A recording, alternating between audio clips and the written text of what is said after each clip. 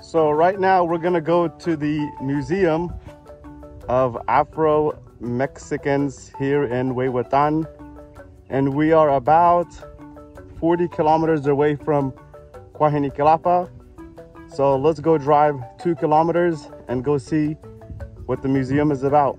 This behind me is the Museum of Afro Mexicanos here in Huehuetan. I would recommend coming to this place. If you have to choose one, stick to the one in Cuajinicuilapa. It is definitely a lot more bigger and has a lot more to offer and see. But this one is also good. It's pretty well maintained.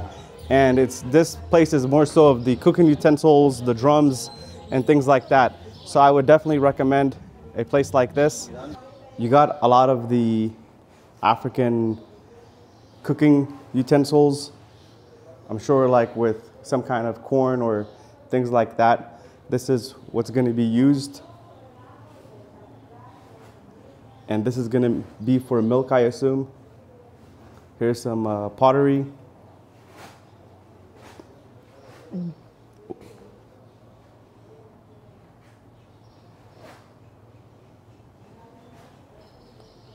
So as you would assume, this place, Huehuetan, was before a dominantly indigenous place for a very long time before the Africans arrived in the 16th century, which is going to be in the 1500s. Now, this is a working community, so it's a machete, and they basically have all of their tools. I don't know what this is for, but I seen it yesterday. Now, take a look at this man.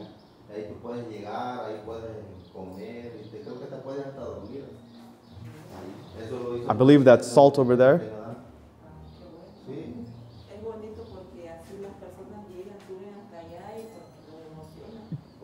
I think this is supposed to be like a African kitchen or teepee or something similar. And they have the containers. Like with many places in Mexico, they always talk about the Great Revolution. The Mexican Revolution is before the Russian Revolution the Cuban Revolution and many other revolutions. This is the great Pancho Villa. This is a black person here. And you can see this is Pancho Villa, but what I see in the picture is people that are more blacker than him, or just black people. They might be indigenous based on the photo, but this is Jose Maria Morelos that we have seen. This is the great Vicente Guerrero, and we are in Guerrero, the state of Guerrero right now. And this is the uh, abolishing of slavery. And you got the slave chains over there. And again, part of the culture here is the dance of the devil, the bailar de diablo. So this is a mascara, this is the mask so all of all of the things on the wall.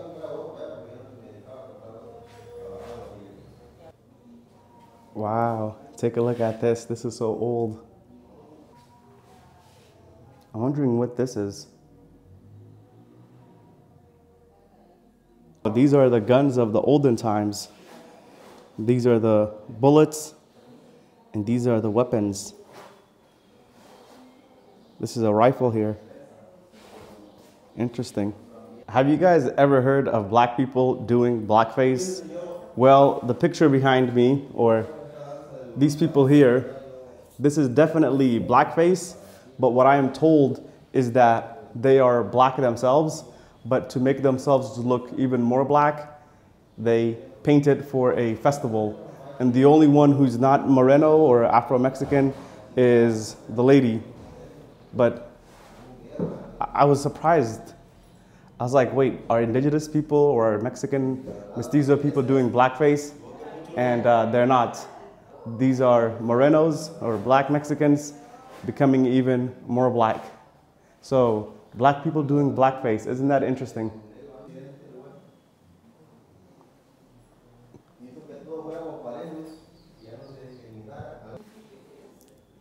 Take a look. They got a picture of Malcolm X, Patrice Lumumba, Nelson Mandela, what is this, Martin Luther King. I don't know who this guy in front of me is. Shame on me. Martin Luther King, Bob Marley. You got Nelson Mandela here, and the reason why you have Nelson Nelson Mandela is because the embassy of South Africa helped fund this location. So you have more African instruments, the drums, and the kalimba. So this is really cool. Okay, this is the office, and this is all the pictures that they have. Apenas donde sí. De estos sí son negros, más cogos, huh. de Coahuila, de allá. de- le regalaron esta casa. Okay. Ahora todos somos negros. You know, one thing I really want to know about all these countries why do they always have the red lipstick? Every Latin country I go to, these are the things that I see. One of the things I've learned in traveling is that the game of basketball is huge, much bigger than American football, much bigger than baseball. Because in any community in Latin America, from Colombia to Mexico, where we're at now, you will always see a basketball court. Every single community, it just seems like it's a very big sport. And it'll be interesting for someone to do a research project on how basketball became this big. So you got the basketball hoop here, and it's just super interesting to see. But let's not go all the way there. Let's look at the paintings. In Mexico, Africans came as slaves. But what I want you guys to really, really know is that a lot of times the Africans rebelled, fought, and escaped slavery from the year 1523 until when slavery was abolished. There was over 100 slave rebellions that is recorded, and I believe there are many, many more that were not recorded. It came to the point where Mexico City and the government did not allow any of the importation of blacks because they were worried that they were going to take down all of the Spanish people and therefore end the Spanish conquest of Mexico. When it comes to the hierarchy of people in Mexico, before the whites, the Spanish, those that were born in Spain were on top. Then you have those that were born in Mexico but of Spanish ancestry. Those were to be second place. Then you have the mestizos, the indigenous, and at the bottom you have the blacks.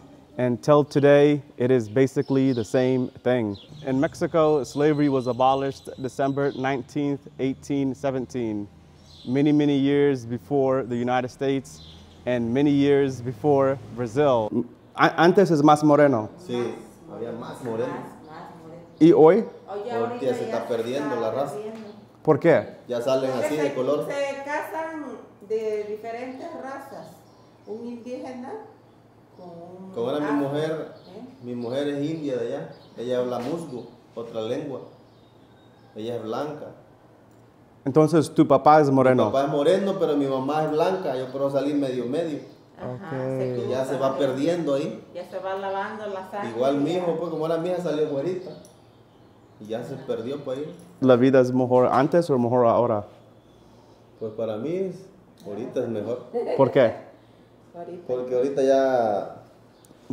Ahora sí que nosotros, nos- ahorita nosotros nos sentimos ricos, la verdad. Sí, porque yo cuando estaba morrito, no, hombre, yo quería cosas, a veces no las podía, mi papá no me las podía comprar. Y por ahorita yo como era mío ya se las doy yo. Trata de. Sí, y antes no. Antes yo me conformaba con una, una, un bol y una paleta de hielo. Y aparte que no había, aquí no entraban cosas para comer, no, no venía la gente a vender. We are now in the town of Jose Maria Morelos. It is named after one of the greatest Mexican generals and of African descent. So here I am in a, not a museum, but something like that and you can see they have the shape of Africa.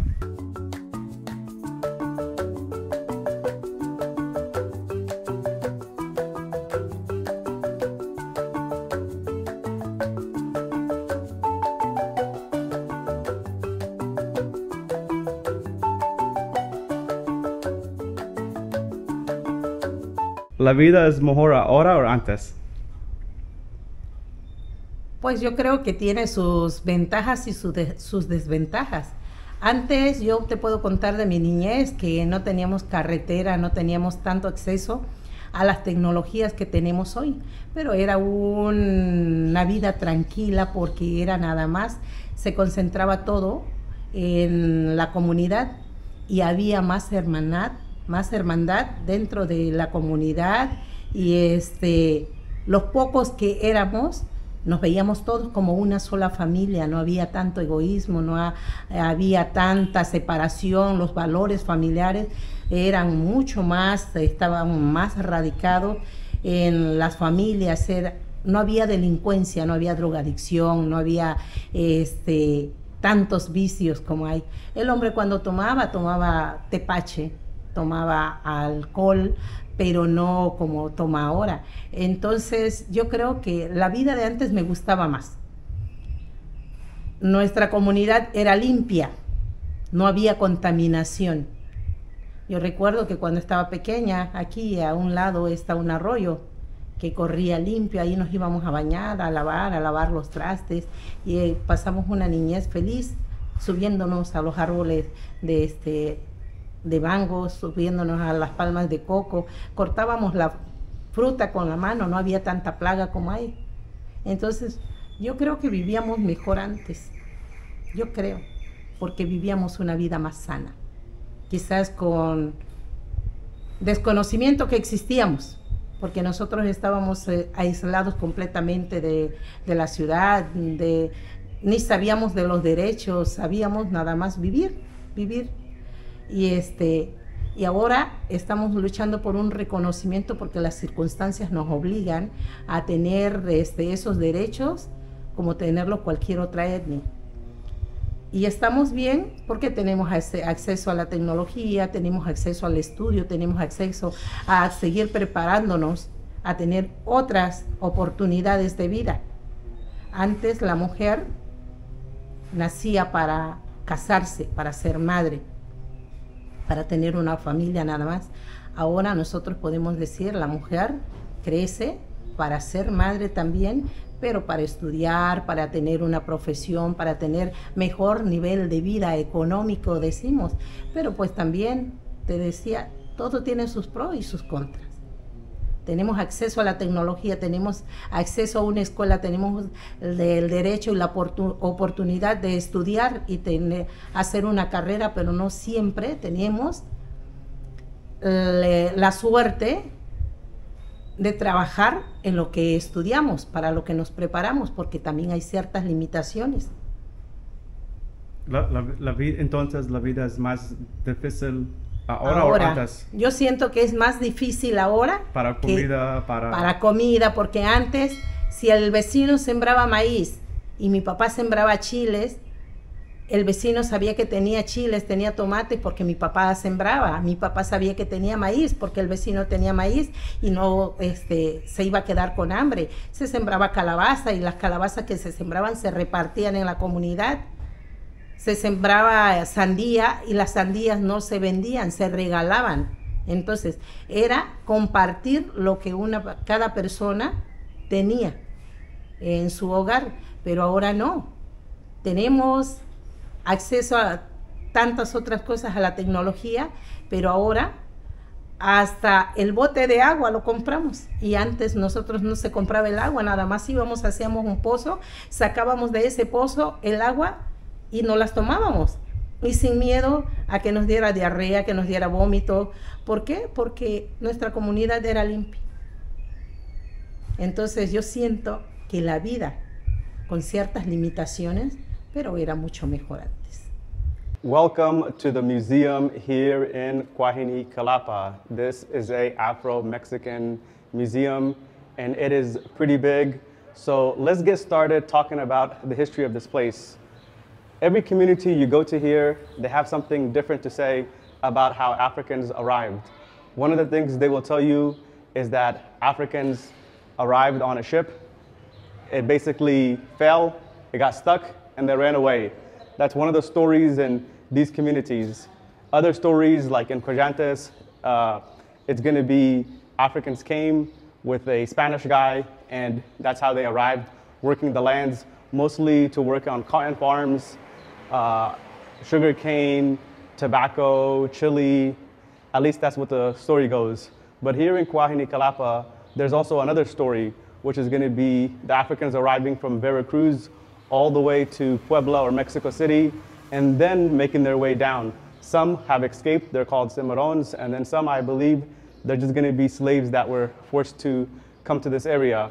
And this area is basically cotton country. If there's any ships that came from Africa all the way to the Pacific, they're going to be coming from Ghana, Nigeria, Senegal, around that area, Congo, uh, Cameroon, all the way down to South Africa, all the way on the other side to the Philippines, and then making its way to the Pacific Ocean here in Mexico. So you can see the, you can see the indigenous people, and this is where we're at right now, Cuajinicuilapa, Punta Maldonado. I've been there. This is gonna be Chacahua. This is where you're gonna find black people. So Chacahua, La Sufre, Charco, uh, Rio Grande is gonna be here. Puerto Escondido is actually right here. And anything on Costa Chica, this is called Costa Chica here, the small coast, this is where you're gonna find black people.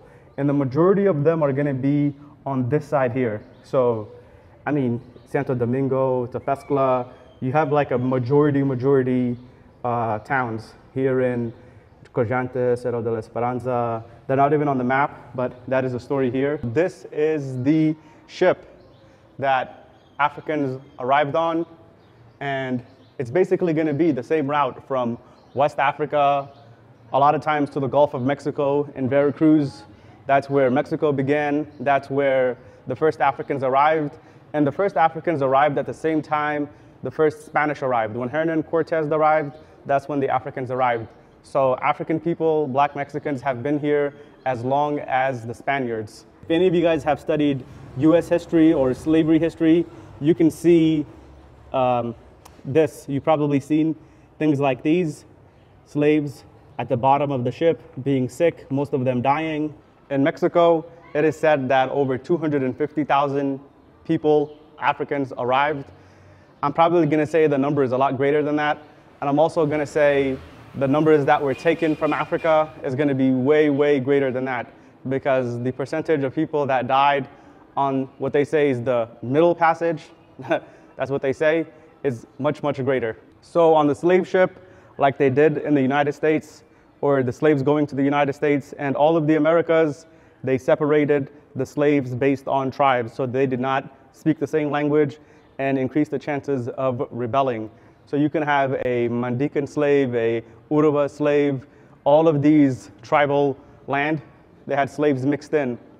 So this behind me is a mine, a silver mine, and a lot of the black people that came here were mainly brought to work on mines, mining for silver mostly, gold, also sugar plantations, tobacco, cotton, just working on farms, domestic work, anything.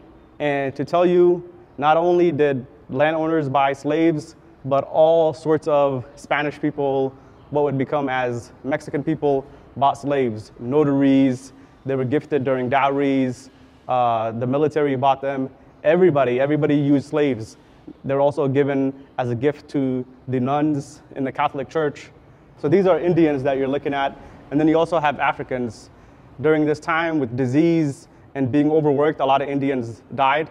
And the Spanish were like, hey, the Africans are good for this job. Their bodies can endure this. And still today, a lot of this uh, notion that black people are stronger and can endure more and that they don't feel as much pain still happens in sports, uh, in doctors, in many aspects of life. But they were basically brought to work here. On the top, you can see the cotton. This right here is a free slave. This is how they dress like, like the Spanish royalty. And this is a guy here, lady here. But there's also free slaves here in Mexico, but a lot of them are gonna be actual slaves. There were runaway slaves. And the thing that I wanna say about Afro-Mexicans as well as African Americans and anybody else their story and the story of these people in the Americas, Africans in the Americas, I would say is mostly a story of just like rebellion, of trying their best to escape problems. These people were the free blacks. And you can see them wearing the Spanish dress, dressing like the Spanish. Let's go down this way.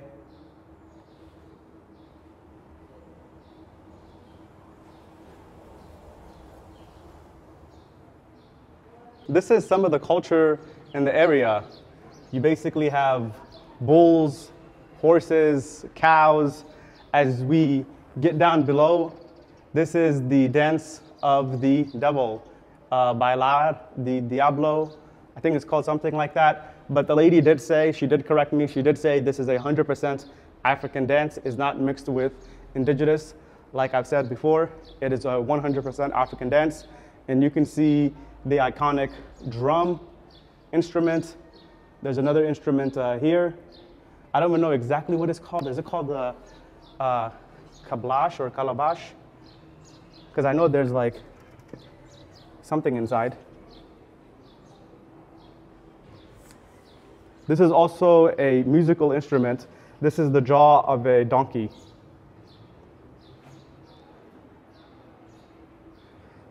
This is what some of the communities are playing.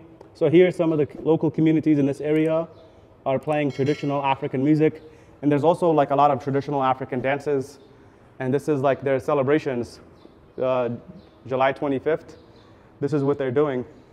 And here in Cuajinicuilapa, it's basically the, the economy is going to be based on agriculture and animal husbandry. You got cows. Cows is basically the main thing. You're going to have pigs, yes. Uh, chicken. Yes, they have watermelon, lemons, mangoes, uh, lemons. So you can see, like homes like this, were the traditional homes here in Cuajinicuilapa. This is not Africa. This is coastal Mexico.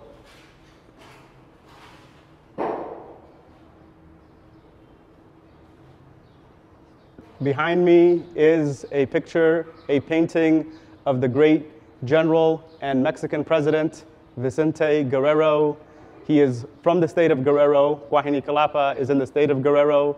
And he is black. A lot of pictures you do look at is going to be him painted a whole lot more white. Again, this is 200 years ago, so they're not going to have exact uh, portraits. Most of the Africans that were brought to Mexico were men. So here in Mexico, the reason why some people say Afro mestizo is because a lot of the African men, they mixed with Indian women, and a lot of times this could be forceful, uh, forceful mixing. So the result is going to be a person or a girl that looks like this. So here's the father, the mother, and then the daughter here. And then on this side, on this side, you're to have a Spanish guy, African women. This is also forceful. And then you're to have a mulatto. Let me tell you what a mulatto is, or where the word mulatto comes from. It's to come from the word mule. So what is a mule? It's going to be a male donkey and a female horse. But a mule cannot reproduce.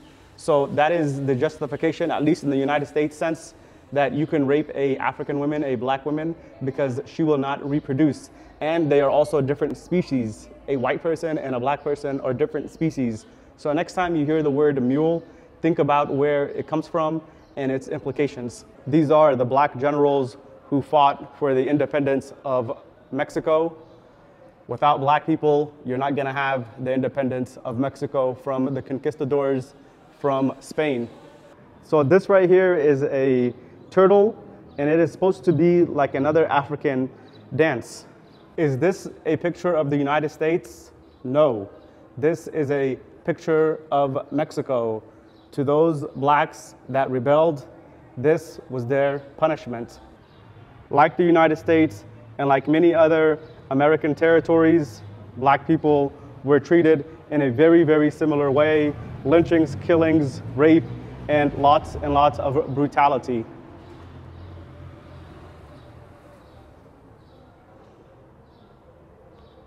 This is a white man, and this is a African man.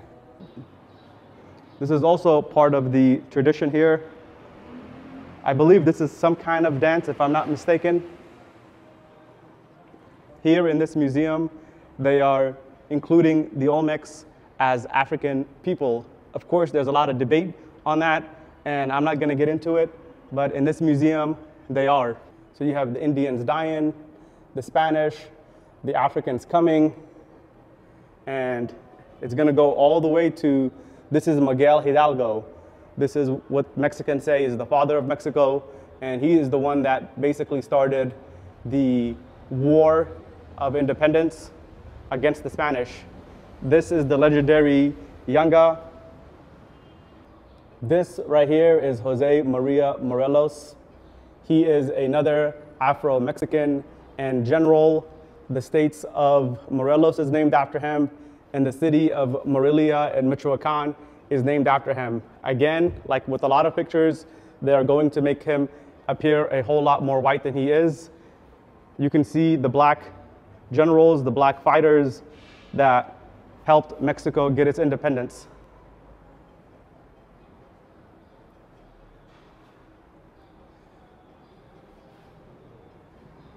This is another Vicente Guerrero and the flag of Mexico.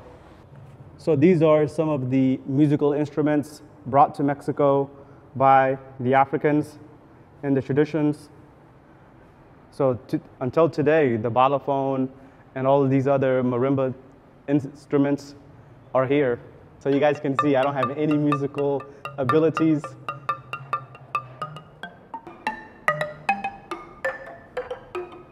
You're supposed to be playing with two hands, but I'm holding the camera on this hand.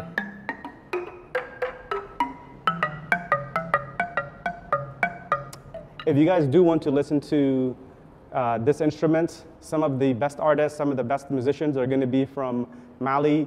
Just take a look at uh, Toumani Diabate's album. So here you have the time of revolution.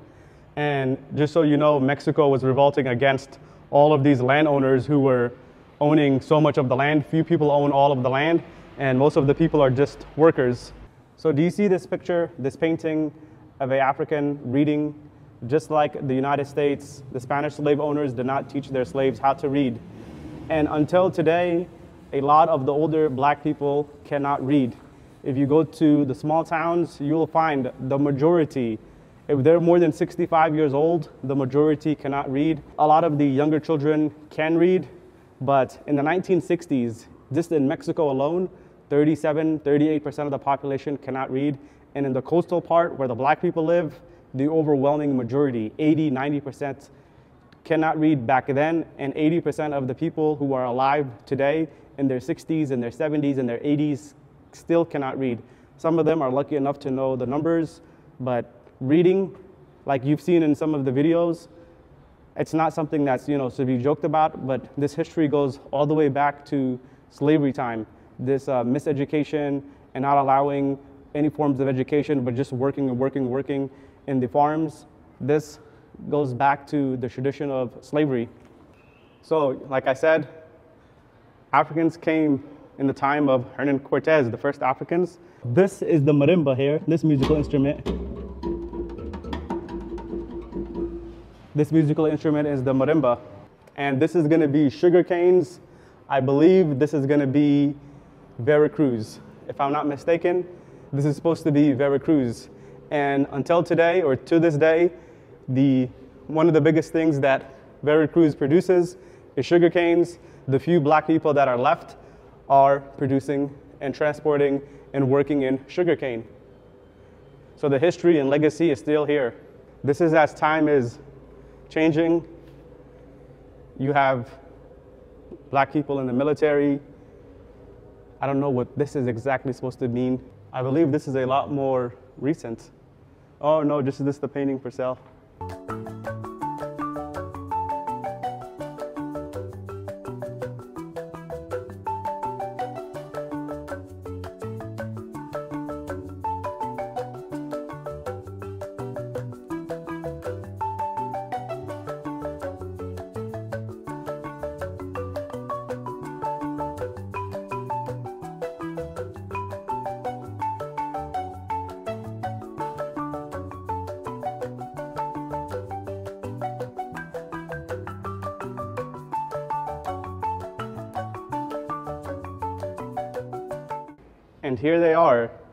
This is Miguel Hidalgo, Vicente Guerrero, Jose Maria Morelos. This is the beginning of Mexico. These are two of three of Mexico's most important figures, along with Benito Juarez.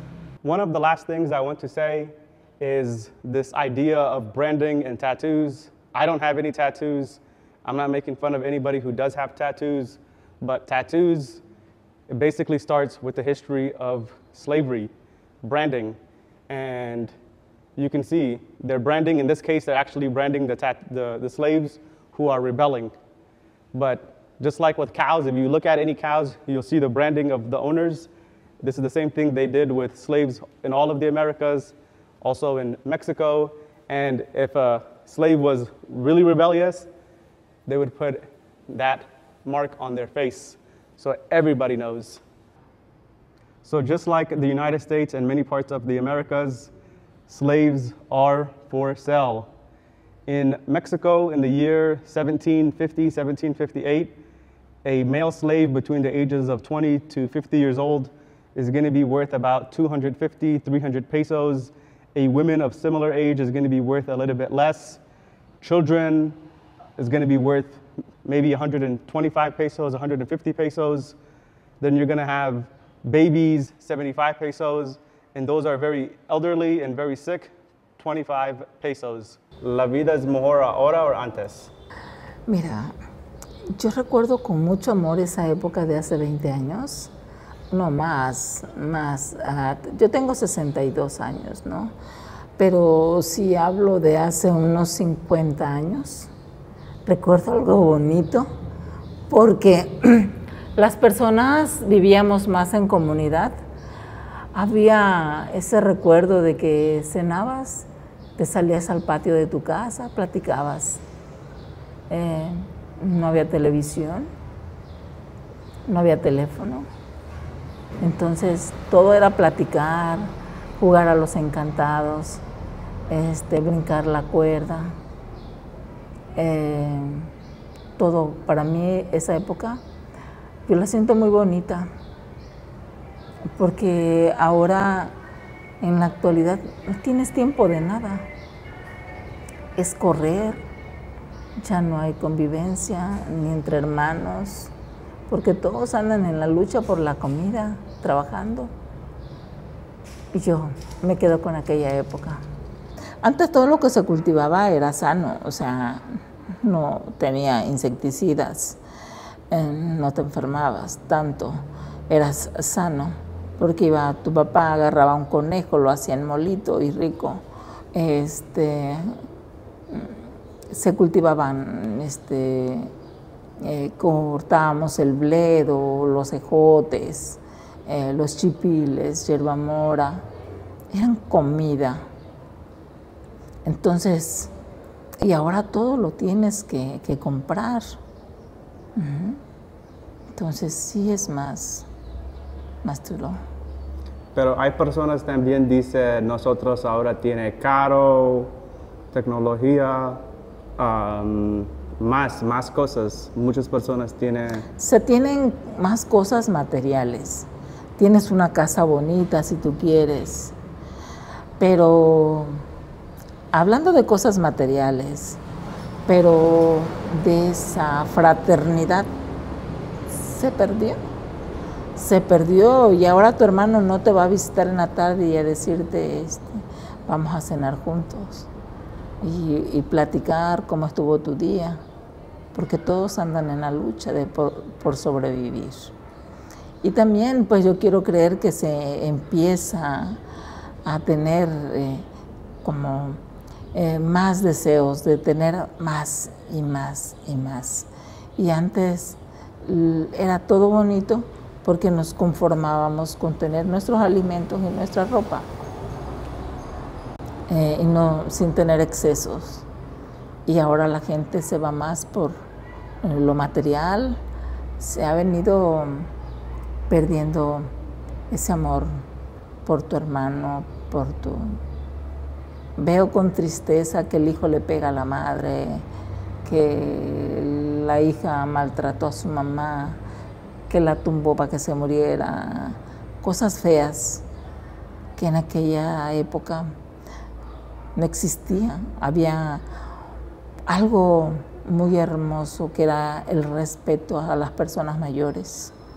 Nosotros estuvimos educados de tal forma que no había una persona mayor que te pidiera que le hicieras algún mandado o ve a comprarme.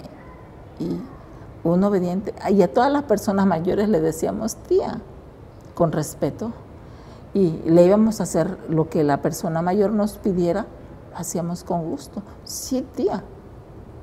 Y ahora no. El sobrino te falta el respeto. Sí. Te dice que eres naca porque no sabes usar bien el teléfono.